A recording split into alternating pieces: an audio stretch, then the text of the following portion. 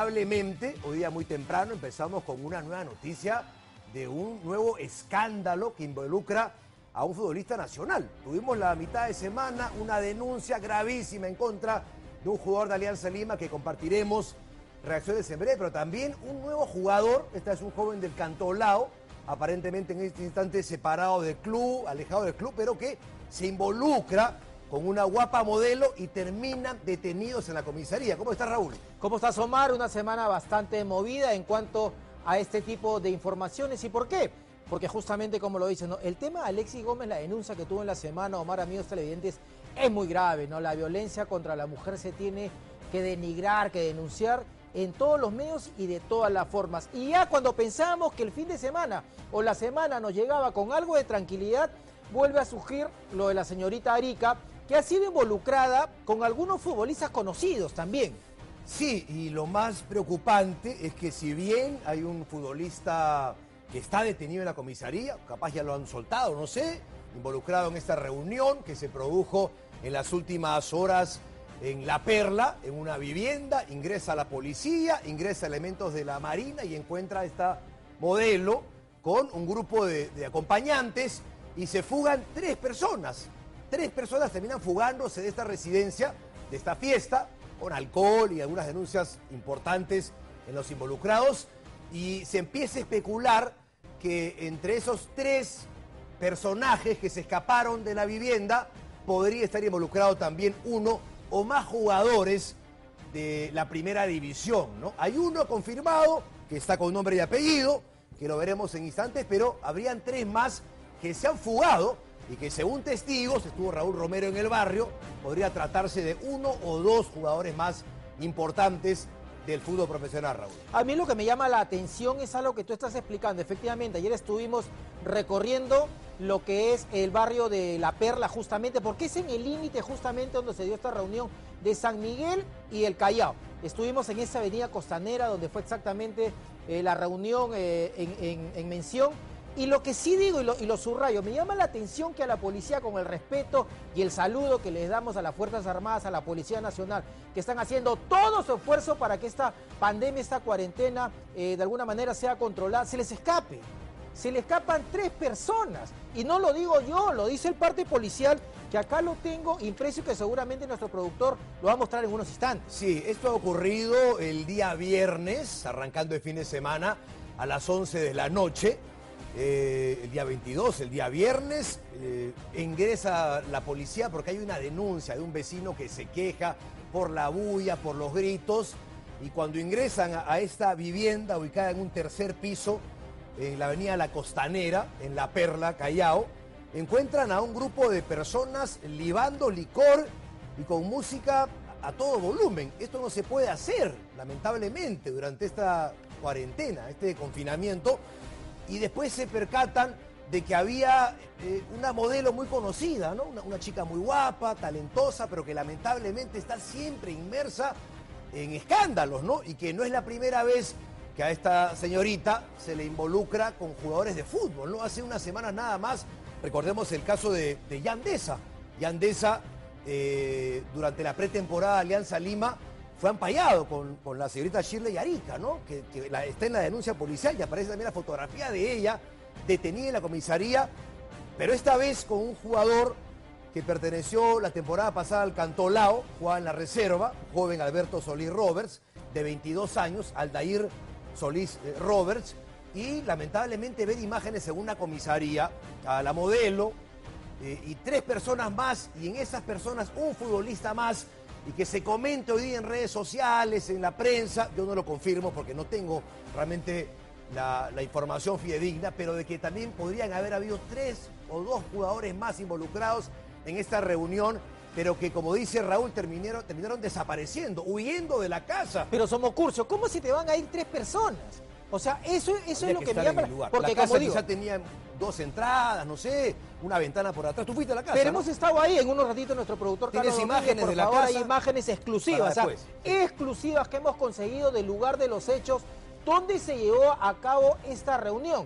Y sigo sosteniendo a la policía y a las Fuerzas Armadas, porque de acuerdo a información de los vecinos de ahí de la zona, porque es una quinta donde realmente se da la reunión, Dijeron de que vinieron el serenazgo, las fuerzas militares y la policía.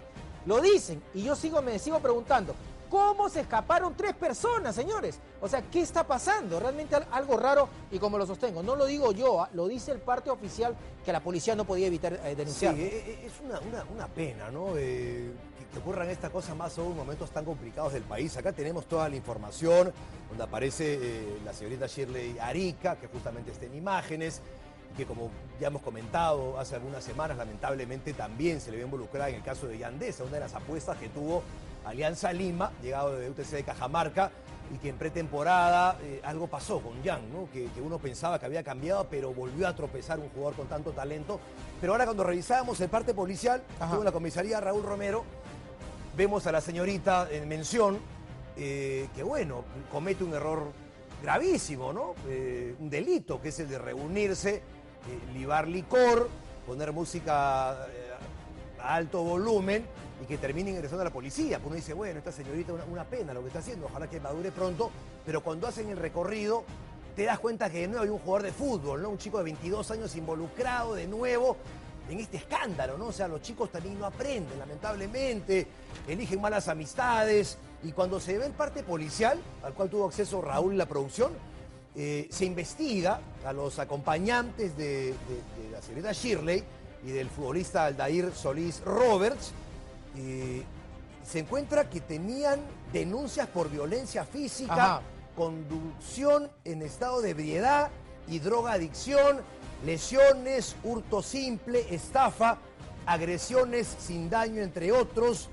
Eh, temas más. No estoy diciendo que el señor Aldair Solís Roberts sea la persona que tiene estas denuncias, pero los acompañantes, tampoco de la señorita Shirley Arica, los acompañantes de este personaje público del espectáculo y de este jugador de fútbol de 22 años, que aparentemente está separado actualmente de Cantolao, eh, estén inmersos en una reunión en la cual habían otros personajes más que terminan con esta, con esta investigación, ¿no? Lesiones, hurto simple, estafa, agresiones, drogadicción, eh, violencia física, conducción en estado de ebriedad y drogadicción. O sea, uno tiene que estar elegiendo sus amistades también. O sea, ¿qué, está pasando con la formación de algunos jugadores de fútbol que lamentablemente además utilizan esta cuarentena eh, para sacarle provecho? Porque hemos visto algunos casos también en la semana que vamos a, comentar más adelante, que es el caso de Alexi Gómez, ¿no? Que hacía, me imagino que a través del Zoom, como hacemos todos nuestros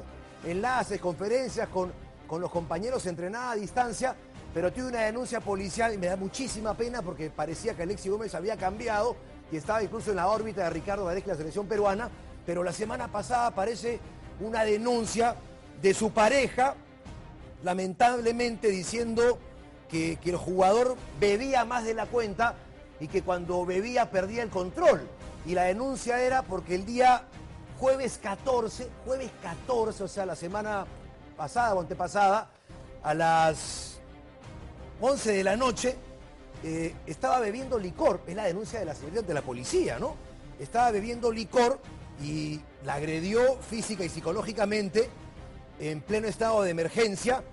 y uno se pregunta, jueves 14, bebiendo licor en casa y además al día siguiente me imagino que el viernes 15 entrenando a distancia.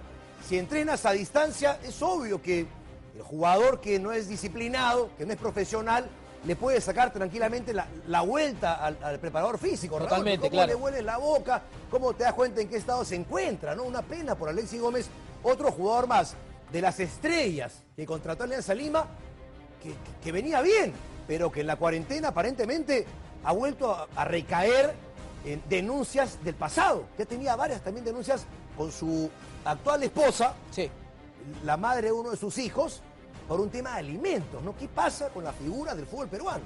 Lo alguna de ellas, ¿no? Lo, que yo no entiendo exactamente, alguna de ellas, yo lo que yo no entiendo o no termino de entender es dónde está la inquietud o tanta inquietud por sacarle la vuelta a lo que debe ser teniendo en cuenta, teniendo en cuenta de que la carrera de un futbolista es muy corta, somos curcio. O sea, no estamos hablando que como otras profesiones, pues se pueden ir hasta los 50, 60, 65 años que uno se jubila.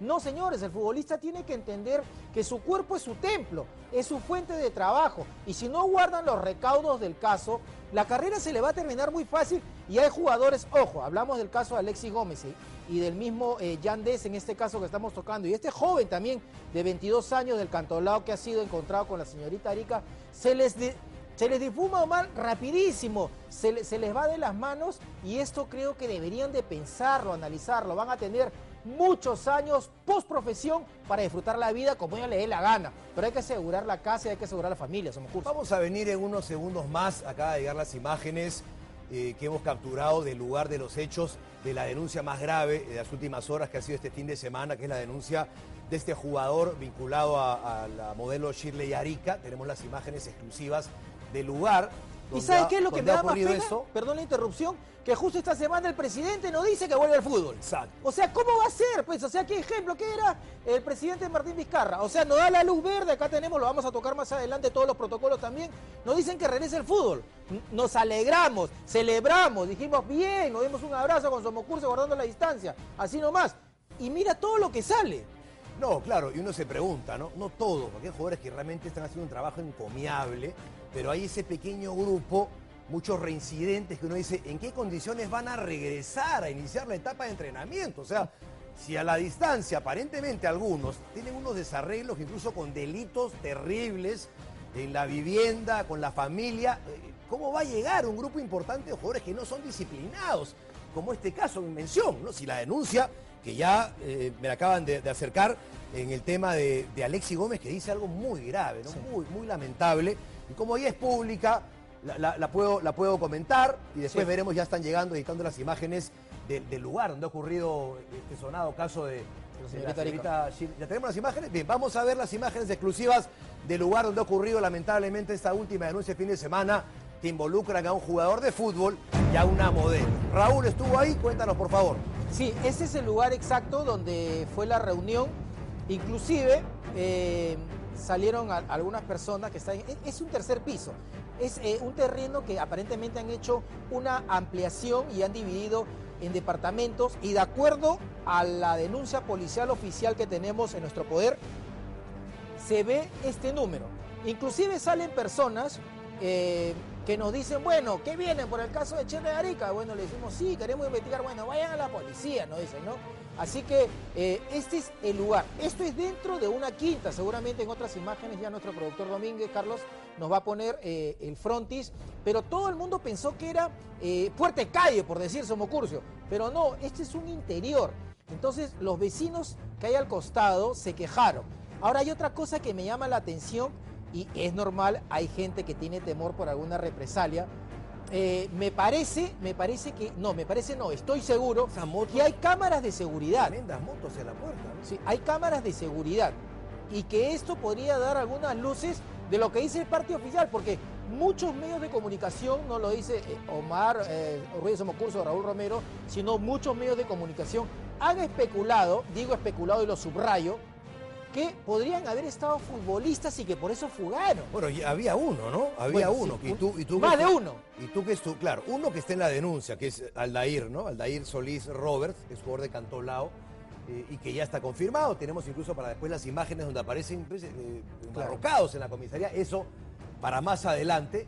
Pero ¿en dónde fue la fiesta? ¿En, esta ventana? de acuerdo a la denuncia, sí, en un tercer piso. Si sacamos cuenta, sacamos línea, uno, dos, uno más arriba y el paneo nos va a ayudar este es el frontis de, la vivienda, 1, 2 y en la parte superior.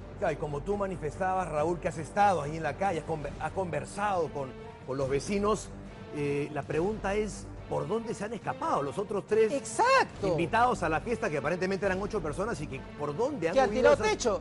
Bueno, pues han saltado aparentemente a, la, casa del vecino, donde, Para haber según tú me informabas, ojo, esto es sin confirmar, esta es una información de, vecinos, pero eh, eh, estarían involucrados algunos, algunos uno o dos jugadores este, más conocidos en el medio, ¿no? Me, cuesta creer lo que tú me has manifestado, Raúl, Ahí está de que algunos jugadores hayan, hayan vuelto a cometer errores y además también con, esta señorita, quien merece el mejor de mis respetos, pero que lamentablemente puede hacer lo que quiera con su vida. Allá los jugadores que deciden pueden formar parte de estas fiestas, estas reuniones e ir en contra de su profesión.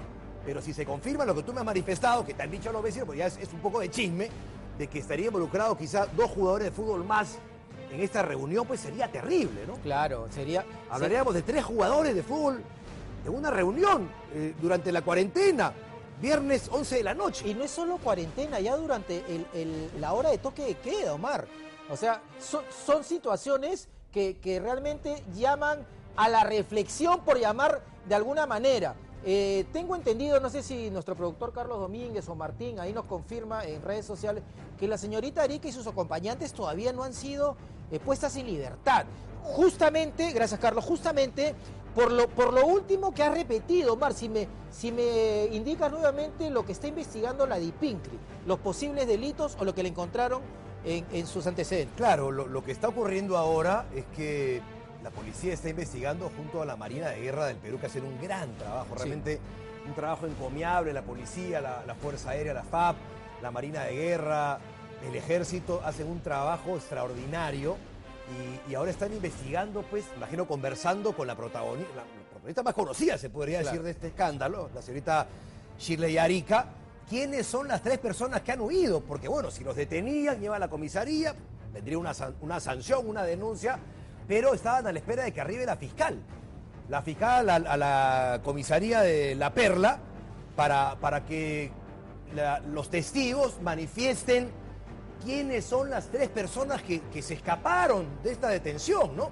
Ojalá que el día de mañana o en las próximas horas eh, no nos enteremos de que existan más futbolistas, como dice, los vecinos te han comentado a ti, eh, conocidos, involucrados en estos hechos realmente sería terrible. Como tú decías, el presidente el viernes anunció que vuelve el fútbol, ya están los protocolos listos para empezar a entrenar de manera presencial en los campos de, los clubes y enterarte que el, día viernes, aparte de este jugador, existan más nombres de futbolistas de la primera división involucrados, sería, sería terrible, terrible la falta de compromiso y que a pocas horas de la vuelta del fútbol volvamos a enterarnos de un escándalo que involucre a figuras importantes del fútbol nacional. Ojalá que ese dato que te han dado los vecinos se derrote. Se Por las horas de la noche, se 11 de la noche, corto de vista, no sé, pero que se hayan equivocado. Uno o dos habrían oído, eran futbolistas. De acuerdo al off the record, dos futbolistas más habían de los tres que huyeron. De los tres que huyeron off the record. Es más, eh, hay declaraciones como, es lógico que ya nuestra producción, ojo señores, no muevan su canal, no muevan el canal, ¿por qué? Porque se están editando, recién nomás hemos estado ahí las declaraciones de los vecinos, de qué vieron, cómo fue lo que, cómo llegado, llegó la policía, cómo llegó el serenazgo, dan declaraciones los vecinos que estuvieron ahí, que son eh, prácticamente testigos pues de la situación de lo que sucedió. Y que, son además los que terminan llamando por teléfono y pidiendo a la, policía que intervenga por la música altísimo volumen. Hay gente que se metía, decía, no, no, no, no, yo no quiero declararme. Siempre hay un temor, se metía. siempre hay un temor, obviamente, de un vecino a hacer una denuncia, más aún cuando encuentras eh, eh, en la denuncia policial lamentablemente personas vinculadas por, con denuncias por violencia física, conducción en estado de ebriedad y drogadicción, lesiones, hurto simple, estafa, agresión sin daño, entre otros, y, te das cuenta pues que si sales públicamente, ya van a ver en breve, vamos a escuchar, esta es parte policial, obviamente, ¿no? Vamos a escuchar en breve a algunos vecinos que, han comentado lo que pasaba, ¿no? Hay una, persona que aparece aquí el nombre, que es la persona que termina haciendo la denuncia, yo no la voy a dar el nombre de la persona, y permitiendo que ingresen a este edificio la policía y la marina. O sea, la persona que termina abriendo la puerta aparentemente es quien alquila, me imagino, los departamentos, para que entren al tercer piso y se encuentren con esta imagen lamentable, ¿no? De un grupo de, no son tan chicos, ¿ah? 28, 30 años, estamos hablando ya de gente madura, gente grande que lamentablemente termina siendo involucrada en, un hecho delictivo y eh, que una vez más vemos esas relaciones que existen entre los jugadores de fútbol y la gente del espectáculo. Bien, en unos segundos Cumplimos con la audiencia y le mostramos las imágenes exclusivas de lo que han contado los vecinos en torno a la posibilidad de que tengamos a más futbolistas involucrados en esta terrible, terrible situación ocurrida en las últimas horas. Pero antes de las imágenes, también lo que pasó en la semana. Yo ya lo estaba adelantando. Con el Jorge tiene una, categoría, nació con un don espectacular, como es el caso de, Alexi Gómez, ¿no? Que yo lo manifestaba. Ya vienen las imágenes del tema de, de Chile y Arica y los demás jugadores, pero ¿Qué, pasó? Realmente, ¿qué, pasó con, con Alexi Gómez, no? uno revisaba a raíz de esta nueva denuncia de violencia familiar, que la tenemos acá a nuestro poder, eh, los antecedentes de Alexis. Yo no, me acordaba de todo lo que había pasado en la vida de este jugador con tanto talento, que había rezado por la puerta grande Alianza Lima. Jugador de selección en su momento. Jugador de selección y aparentemente estaba en la mira de Ricardo Gareca para ser tomado en cuenta en cualquier momento. Pero llega una denuncia lamentable, terrible, de agresión a una mujer que además tenía un niño. ¿Qué tiene? Eh, tenía un niño en, el momento, ah, de, la agresión, según la denuncia, física, ¿no? Dice acá, eh, siendo la hora y fecha anotados eh, con conocimiento del oficial de permanencia, la víctima de violencia física por tercera vez y psicológica desde hace tres meses por parte de su ex conviviente, ahora denunciado, de dichas agresiones, se dieron mediante ofensas, insultos, palabras oeces, humillaciones, denigrando su condición de mujer, además de jalones de cabello y forcejear por su teléfono celular. A la vez indicó la denunciante que su menor hijo agraviado viene siendo víctima de violencia psicológica de hace tres meses. No es el hijo del jugador, no es el hijo de la, pareja, de, Alexi Gómez por parte de su padrastro denunciado. Dichas agresiones se dieron al presenciar la violencia de su persona, siendo la última agresión el día 14 de mayo, jueves 14 de mayo, a las 11 de la noche aproximadamente, alegando que los motivos son porque no sabe, no sabe lamentablemente controlarse cuando ingiere licor, aduciendo que es la primera vez que lo denuncian en su agravio y el de su menor hijo y que al momento de los hechos suscitados el denunciado se encontraba en estado de, ebriedad. O sea, son dos cosas gravísimas. Primero, la agresión con una mujer, por Dios, por favor. Claro. ¿Qué está pasando? Y no es la primera vez. Lamento informar esto, un programa deportivo, pero tenemos que decirlo porque no se puede, no se puede repetir. No se puede repetir. Pero además, por beber licor se transforma el jueves por la noche. Y el viernes se entrenan a distancia, Raúl. bueno, estamos hablando. Esto es sacarle la vuelta, pues, Omar, a lo que dice el trabajo, ¿no? Porque tú lo adelantaste hace unos minutos justamente cuando eh, el futbolista a través de estas famosas aplicaciones eh, tiene el contacto directo con los jefes inmediatos, ¿no? En este caso el preparador físico y los hace trabajar en sus domicilios, pero no tiene el face to face, pues el día a día para que para saber en qué condiciones físicas o de trasnochadas puede llegar un futbolista. Eso es por un lado. Y por el otro lado es eh, denigrante, realmente no encuentro otra, otra palabra, que se le, se le agrede a una mujer, a una dama, por más diferencias que uno tenga, por favor, a la dama se le y con un niño, aparte al costado, Y acá dice, de acuerdo a lo, que, a, lo que has leído, es por tercera vez, o sea, no es la primera vez. Ahora, ¿qué pasa en Alianza? Alianza, yo no sé eh, si analizaron bien, sé que tienen buenos administradores, sé que el gerente sigue vigente, eh, también llegó el señor Marulanda, hablaba de Gustavo Ceballos. ¿Qué pasa en Alianza? ¿Cómo contrataron? ¿No vieron el perfil de los jugadores? Porque hablamos de escándalos de un inicio de año de Yandesa. Hablamos de escándalos de Carlos Ascuez. Hablamos ahora de Alexis Gómez. Hace, hace eh, una semana, si no me equivoco, también estuvo Beto da Silva. O sea, ¿qué pasa en Alianza? Por favor, o sea, salgan a decirnos algo, sálganos a explicar. Sé que hay un comunicado que lo vamos a comentar, pero me parece un poco frío. O sea, yo no sé cómo será la situación de estos cuatro jugadores, pero son los recién llegados, curso. Yo lamento profundamente, y te lo he dicho eh, de manera personal, porque veo que hay una administración económica, financiera impecable en Alianza Lima. Tú te das cuenta que el club es un club ejemplar y tiene jugadores ejemplares. No voy a dar nombre, no soy quien para decirlo, pero ejemplares, ejemplos de profesionales. Pero desde que empezó el año hemos empezado a ver estos escándalos, como ya lo dijo Raúl. Bueno, pasó con Yandesa, una pena. En, dos meses, cuatro ampais le hicieron a Yandesa. Sí. Esta señorita Shirley Arica también estuvo involucrada, lamentablemente, eh, en un momento de, no sé, de, distracción total falta de profesionalismo. Y Andesa fue grabado tomando licor también. Le pasó a Carlos Ascuez, que bueno, ya no ha aparecido más. Aparentemente se dio cuenta que estaba en el camino equivocado. Pero también pasó con Beto da Silva, ¿no? Una figura que tú ves que llega de Europa, un chico de 23 años, porque acá nos vamos a hablar de, de, por, qué, por qué vamos a decir eh, eh, Gómez sí y Beto da Silva no. Jugador con un talento espectacular para el fútbol, ¿no? Pero que también termina rompiendo la cuarentena. Lamentablemente un jugador con una calidad espectacular para brillar. Que no ha reeditado. No, ¿ah? no ha reeditado. Que no lo ha reeditado desde que salió de Cristal y para es mí. captado también con una modelo, con la señorita talentosa y guapa, Ivana Iturbe, lamentablemente. eh, eh, Beto yendo a buscarla a la Ex casa. pareja de Jefferson Farfán en su Me momento. parece, sabes que a mí la farándula No, no, no, me no gusta. te el parece, espectáculo, Somocurso. pero No me pero hay arrugues que ahora, decirlo porque no me vemos un esfuerzo enorme, inmenso de los administradores, de los, de los inversionistas actuales de Alianza Lima, que están poniendo la suya. Pueden ser millonarios, no importa, pero están arriesgando en el fútbol. Podrían tranquilamente ser hinchas, ir a su palco y se acabó. Pero Alianza Lima se maneja bien, creo que no hay ni descuentos en el plantel. Mm. Es una vitrina espectacular.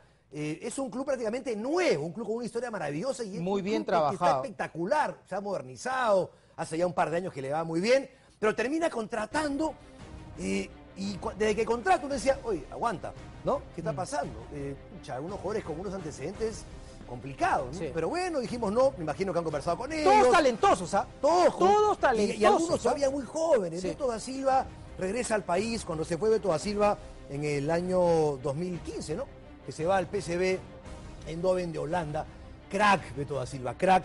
De ahí de la vuelta por Holanda, Brasil, Argentina, México, eh, España, México de nuevo, y viene al Perú, tiene esa oportunidad de, volver a ser el Beto da Silva que todos vimos y, queríamos que sea el, el delantero de la selección peruana.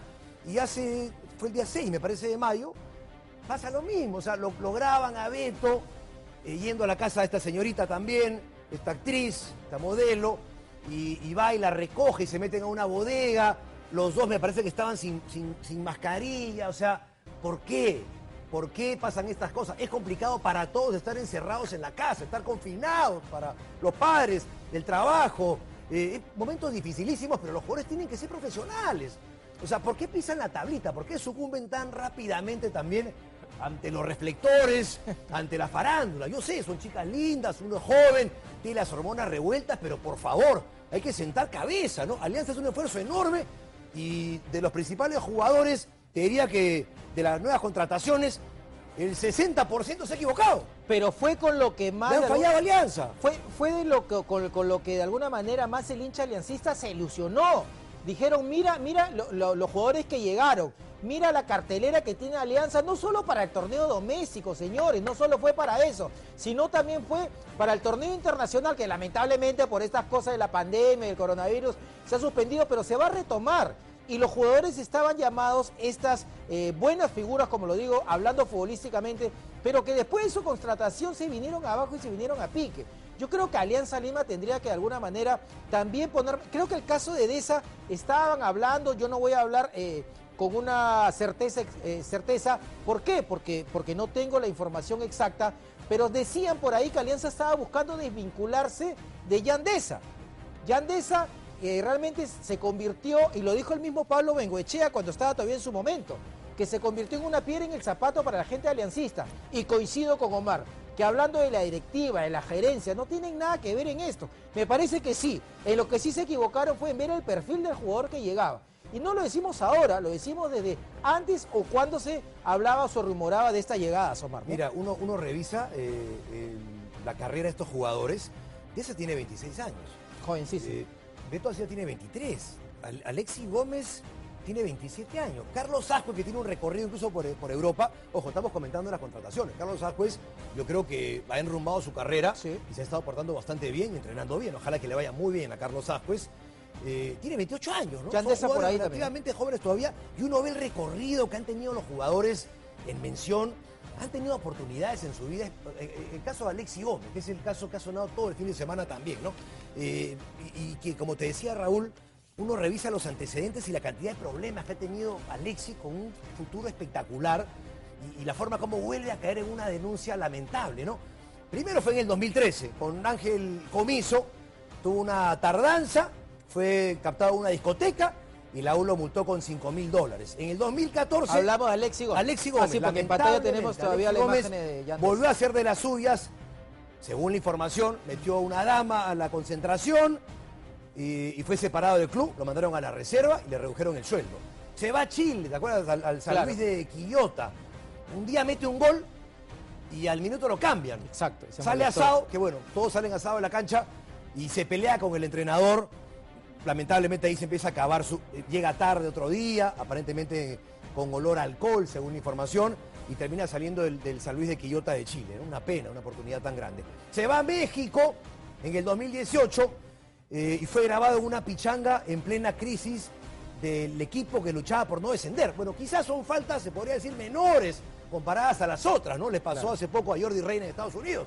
En la cuarentena estaba jugando Sí, exacto. y casi, casi lo sacan del club. O sea, cosas menores. Después se va a Melgar en el 2019, faltan los entrenamientos y lo mandan a la reserva. O sea, y a pesar de todo eso, por el inmenso talento que tienes, Alexi, Alianza Lima opta por contratarte. Lo. Y en la época de la pretemporada, Alexi estuvo perfecto, porque estaban las denuncias de Yandesa, de Carlos Ajuez, pero, pero Alexi no. Estaba, estaba aparentemente por la línea correcta, pero ahora en la cuarentena salen las denuncias y, lamentablemente vuelve a sonar su nombre en temas policiales. Pero tenemos las imágenes que ha conseguido la Raúl pausa posiblemente. del no sé, lugar, de los hechos, de este- esta lamentable intervención policial que se ha producido en las últimas horas en una casa en, en La Perla, en el Callao. Así que les contamos quienes probablemente habían huido por la ventana de ese departamento después de la pausa. No se muevan. No sé.